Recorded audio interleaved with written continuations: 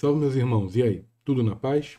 No vídeo de hoje eu vou mostrar algumas funções do cristal ametista, vou dar uma introdução sobre programação de cristais, energização e limpeza, e vou falar também de umas aplicações bem úteis que pode ser dada tanto a ametista quanto a outros cristais.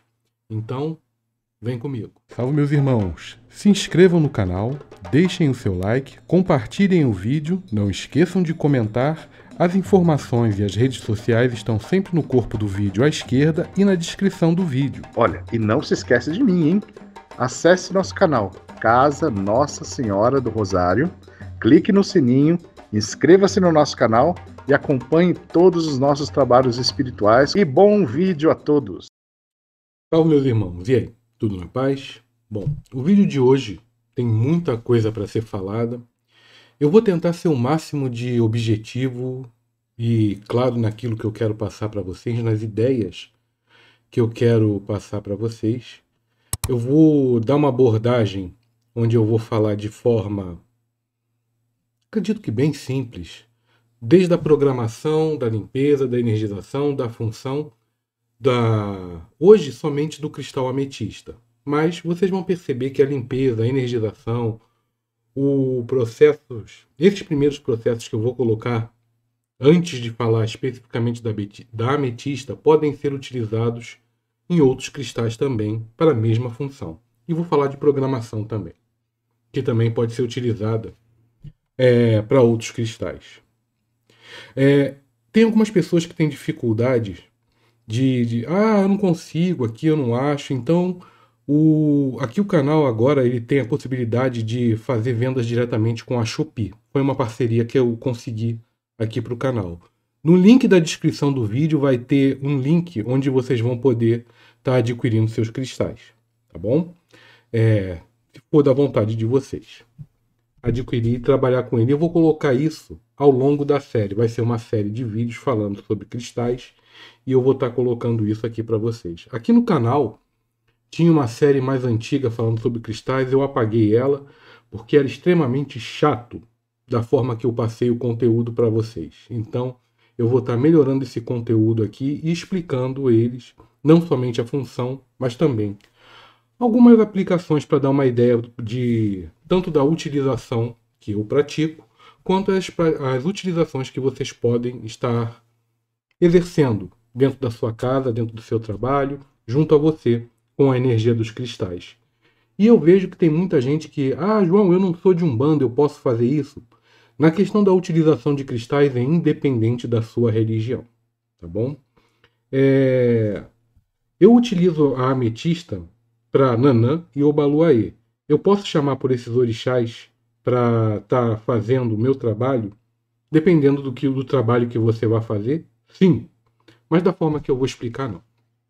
Temos aqui a ametista. Essa ametista é a ferramenta de trabalho que eu uso na minha mesa radiônica. É a forma de limpeza e energização dessa ametista. Se eu quero limpá-la, depois de muitos trabalhos ou depois dela estar muito tempo sem receber um banho de energia, eu quero fazer uma limpeza.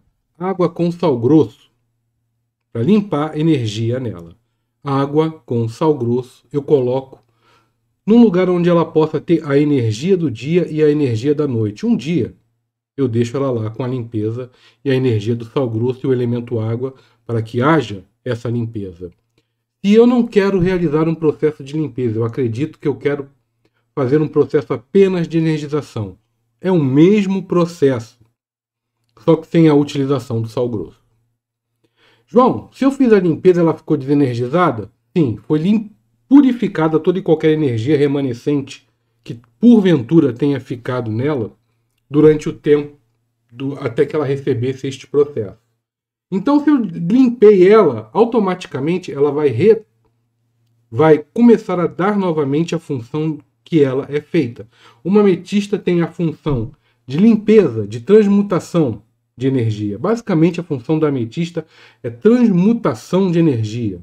Levando isso em consideração, a partir do momento que eu fiz a limpeza, ela vai voltar ao seu, status original. Com carga máxima? Não. Então é por isso que depois de um processo de limpeza, eu acredito que o processo de energização seja aplicável. Então já são dois dias de trabalho para que você tenha o cristal pronto para você. Sabendo que a função da ametista é transmutação de energia de negativa para positiva, que programação eu posso dar a ela? Eu posso, como eu programo um cristal?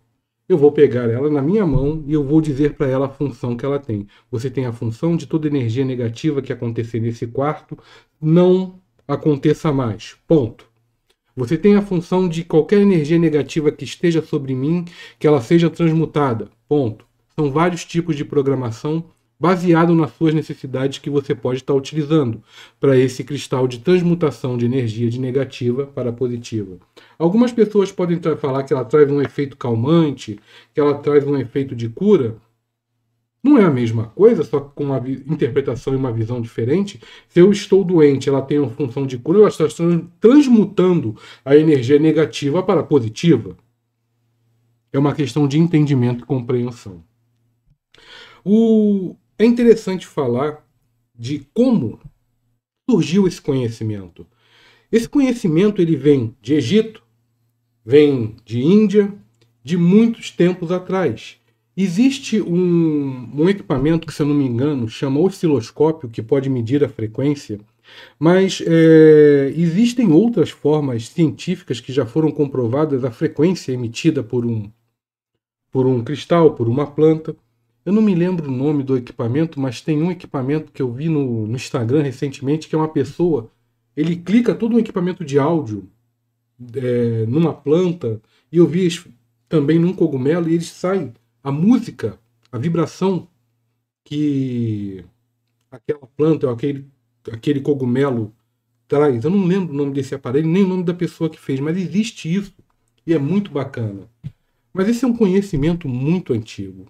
Eu associo a energia de cristal ao povo Atlante. É a energia com que eu trabalho na minha mesa radiônica. Porém, um conhecimento mais antigo, como que foi descoberto, como que foi feito, foi feito o conhecimento básico que eu tenho, que foi descoberto pelos gregos, que formou a palavra krios, ou cryos, krios, que no português, a pronúncia certa deve ser cryos, que fazia uma alusão ao gelo e depois ficou Cristalos, pela descoberta do povo grego é, do quartzo branco. E em 1880, Jacques Pierre Curie descobriu que um cristal ele pode se tornar uma bateria, ou seja, além de ele ter energia própria, ele pode armazenar energia se for submetido a uma carga de calor e de pressão. Então, a ciência é, já vem comprovando a função dos cristais e utilizando os mesmos, tanto na criação de circuitos integrados, quanto na utilização do. Como eu posso dizer? Das formas de tratamento. Não existe, e eu falo isso com toda frequência, porque não dá para ser hipócrita, não dá para dizer que é uma comprovação científica das funções de um cristal e além do mais, a, a ciência, muitos ramos da ciência não, não apoiam qualquer tipo de terapia holística, independente dos resultados que elas já apresentam. E sendo que agora isso está mudando aos poucos, tanto é que o SUS, o próprio SUS, já existe matéria onde o SUS está contratando terapeutas holísticos. Eu não sei dizer ao certo, mas pesquisem aí, que eu vi essa matéria recentemente, mandaram até para mim no Facebook. Se eu não me engano, acho que minha mãe também mandou alguma coisa a esse respeito. Voltando, eu não quero fugir muito. Ainda tem coisa pra caramba para falar. É... Então, tendo essa consciência de que já existiu uma, uma, uma, um conhecimento antigo junto a um conhecimento moderno, e isso, o cristal, os cristais, a ametista da qual eu estou falando no vídeo hoje, é algo tão comum e fácil de ser utilizado, por que não utilizamos? A ametista em si, eu acho tão bonitinha essa daqui, ela é tão. Digamos que ela tem a posição certa para utilizar na mesa, sabe? É por isso que eu me apaixonei por ela quando eu fui comprar. A ametista é uma forma sílica. Ela é composta de dióxido de silício e de ferrífico, sendo que o ferrífico é uma impureza da ametista, que dá essa tonalidade violeta para ela.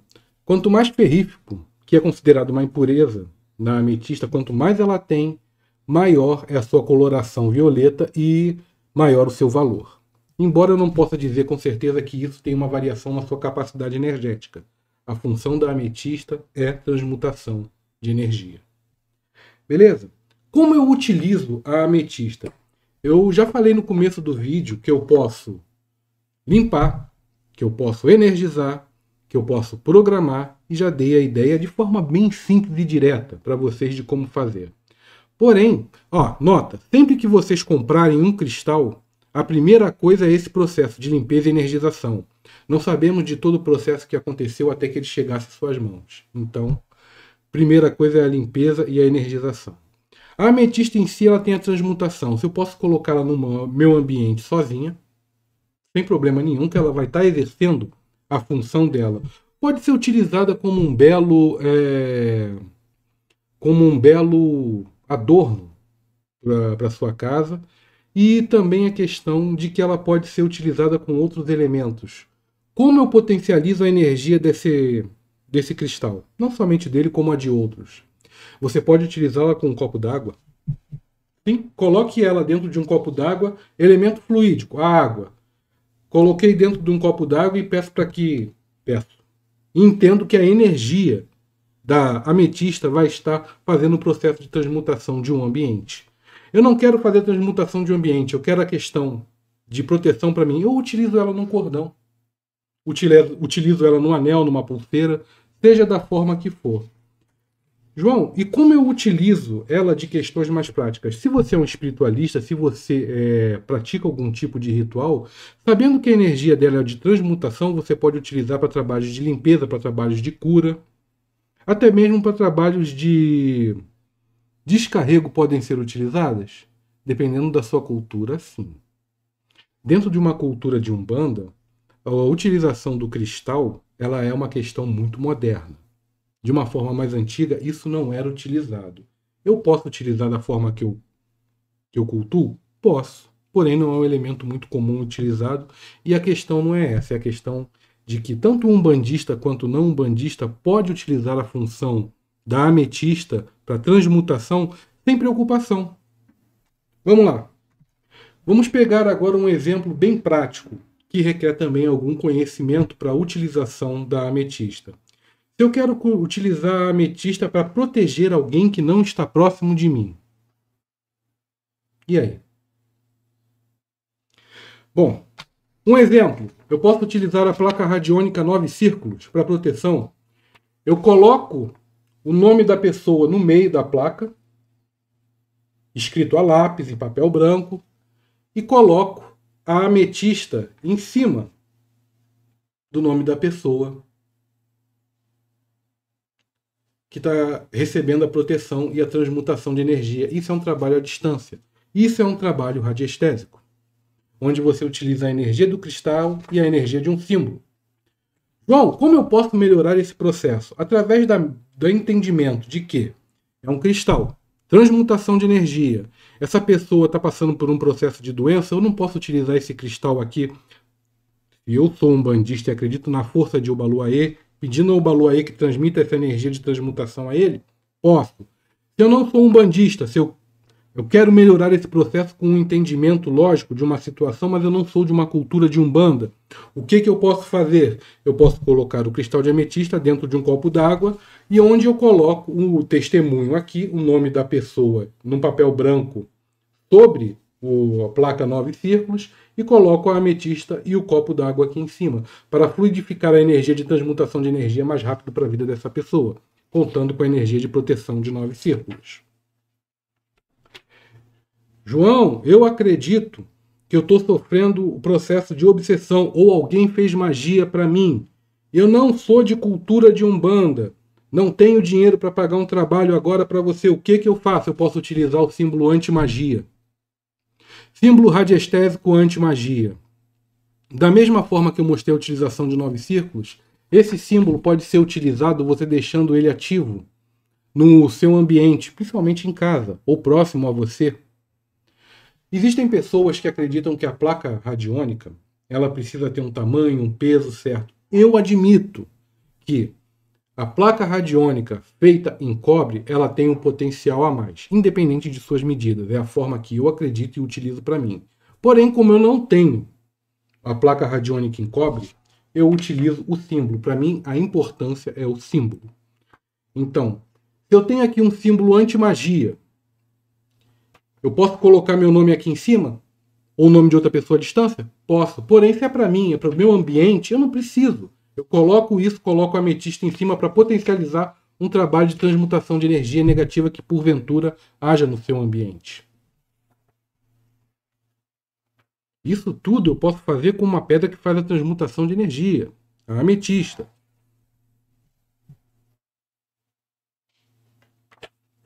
Eu gosto muito dessa placa aqui, porque há um tempo atrás, no começo da caminhada, eu usava muito. Hoje em dia, eu confesso que eu tenho usado muito macumba mesmo, mas não tanto o conhecimento das placas radiônicas. Mas essa daqui me ajudou bastante. A tancarana, a tacarana, perdão. Isso aqui, para mim, para mim, essa placa, ela tem a função de,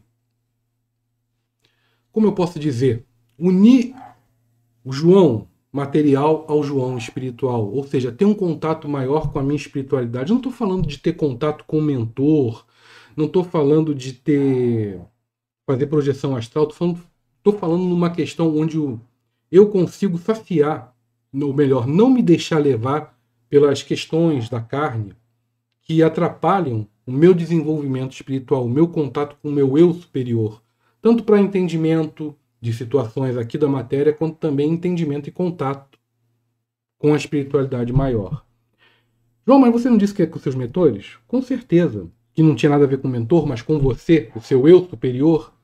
Sim, mas a partir do momento que eu transmutei energia com essa placa e eu cheguei ao ponto de me perceber sem todos os desejos e aflições da carne, a minha energia me ficou um pouco mais sutil então, consequentemente, eu tenho as vantagens de estar num nível de sutilidade um pouco maior. E isso pode ser auxiliado se eu tiver junto a esta placa a questão da transmutação de energia da ametista, auxiliando nesse processo, para que eu possa estar tá não somente revitalizando o eu espiritual, mas também, consequentemente, tendo contatos com a minha própria espiritualidade de uma forma sadia e segura. Ou seja, com menos energia negativa ao meu lado para que possa se fingir de mentor meu e me enganar. Meus irmãos e irmãs, o que, que vocês acham? Eu falei algumas formas de utilização, dei o exemplo de algumas. Vamos pegar mais um, vai. Eu estou com outro aqui do lado. Ah, vamos pegar a RAD, essa daqui. Esse símbolo aqui, ele é para auxílio numa questão de saúde. Numa questão para saúde. Uma pessoa está doente, uma pessoa está internada, eu posso pegar essa placa, colocar o nome da pessoa aqui no meio, num papel branco, escrito a lápis, e colocar aqui a ametista dentro de um copo d'água, sobre a placa e o nome da pessoa, para que haja um processo de cura e restauração mais rápido transmutando as energias negativas que estão à volta dela e no corpo dela. Fica aí as dicas que eu passei para vocês. Espero que sejam úteis, tá bom? Hum... Eu acho que eu consegui ser claro. Eu vou fazer uma série falando mais agora das funções dos cristais. Se vocês quiserem mais aplicações, também me dão. Me deem o feedback aí nos comentários para que eu possa estar tá tentando fazer esse conteúdo bacana para vocês, tá bom? Meus irmãos e irmãs, não esqueçam de deixar o like. Não esquece de clicar no link da Shopee que vai estar aqui embaixo para ajudar vocês a achar alguns cristais que podem ser úteis para você. Compre e entrega garantida, tá bom? Deixa o like, se inscreve no canal se você gosta daquilo que está sendo feito aqui no canal. Seja um membro do canal. Toda ajuda é bem-vinda e necessária desde que não desequilibre vocês. Muita paz, muito axé e até o nosso próximo programa. Fiquem na paz.